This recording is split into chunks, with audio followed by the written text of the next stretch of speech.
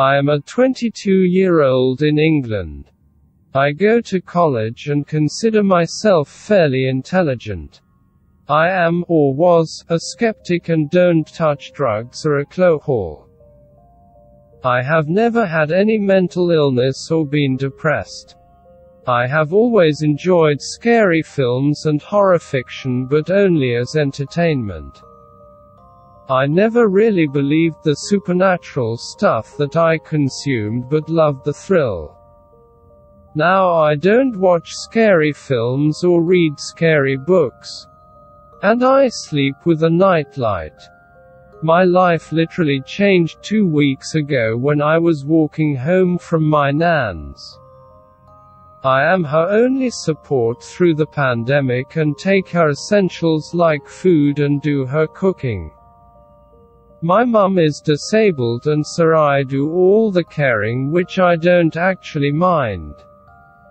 My nan is 87 and pretty funny for an old lady. I made her some tomato soup and toast, filled her hot water bottle and made sure all the windows and doors were locked before I was going to leave. I also fed Marston, her ragdoll cat. He gave my hand a nibble as I stroked him and then wished my Nan good night and set off on the 20 minute walk home. It was 8 pm, so not really late, but it was dark and slightly foggy. The road I walk home is near a large factory, Heinz, and cuts through an industrial estate. The industrial estate, which has lots of lorries and trucks parked up while the drivers get some sleep, is quite creepy at night as it is a long, straight road with nobody about. Some of the factories are lit up, but it is still dark and secluded. I don't listen to music when I walk as I like to hear if anybody is approaching. I am pretty tall but thin, so I wear lots of layers and a big hood in winter to look more intimidating. Stupid I know. Once you get through the industrial estate, you come to a small bridge that goes over a train line, cross that and you come to a small street with houses on both sides. I like reaching this part of the journey because I feel safe there. It's only a five minute walk through the street though before you get to a small gate that leads across a farmer's field towards the canal. I was pretty hungry and was munching on some crisps that my nan always give me, with a chocolate bar, for my walk home. I finished the crisps and squished the empty packet into my jacket pocket. I unlatched the small gate and continued on through the farmer's field. You can hear the stream that runs alongside the canal but not much else. Everything seemed very quiet because I had just been listening to myself crunch crisps for the past few minutes. It takes around 5 minutes to get across the field, which has a path, and I usually jog that part as it is creepy. I didn't jog the night it happened. I walked because the ground was very muddy and I didn't want to splash dirt on my pants. I wish I had jogged. My life might be very different if I had. I have a smartphone but don't really look at it a lot, especially when I'm walking at night.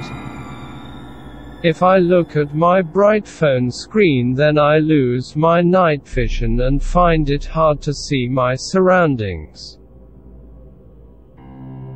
Well, I got a message just as I was halfway down the path and I looked at my screen. It was a message from my cousin asking if I would be online later for a few games of football. I replied that I wouldn't put my phone away. I had only glanced at my phone for a few seconds but it was enough to destroy my night vision and make me feel blind.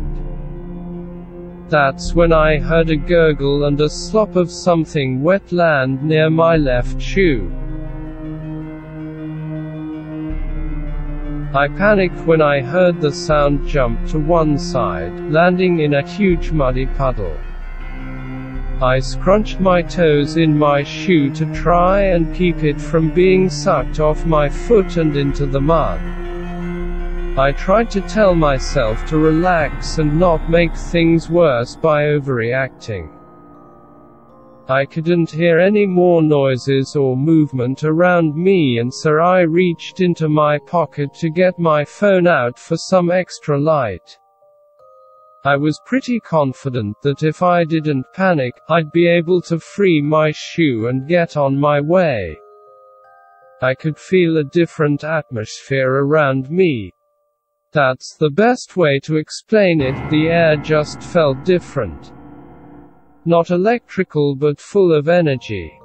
It's really hard to explain this in words, so I'm sorry. I knew that I was only five or ten minutes away from my street and would soon be in my comfy chair beating my cousin at football. I couldn't imagine how wrong I was. There are no streetlights down the patch obviously and it's just trees on both sides. I pressed the button on my phone and the screen flashed bright again. Her face was next to my right hip.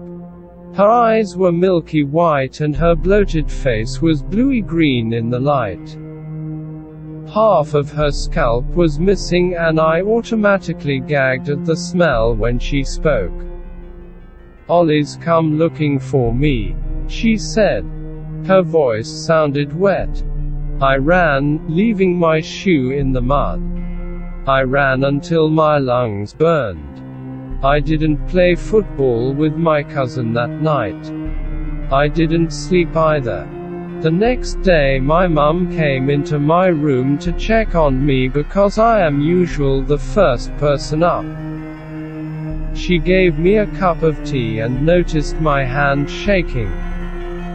I must have dozed off at some point and it was now early afternoon. Oh, you must have heard about that young lad. It's horrible, isn't it?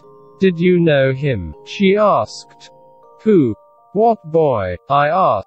I was confused and felt literally insane from last night's incident. His name was Ollie, they found him in the woods near Heinz this morning. He'd hung himself.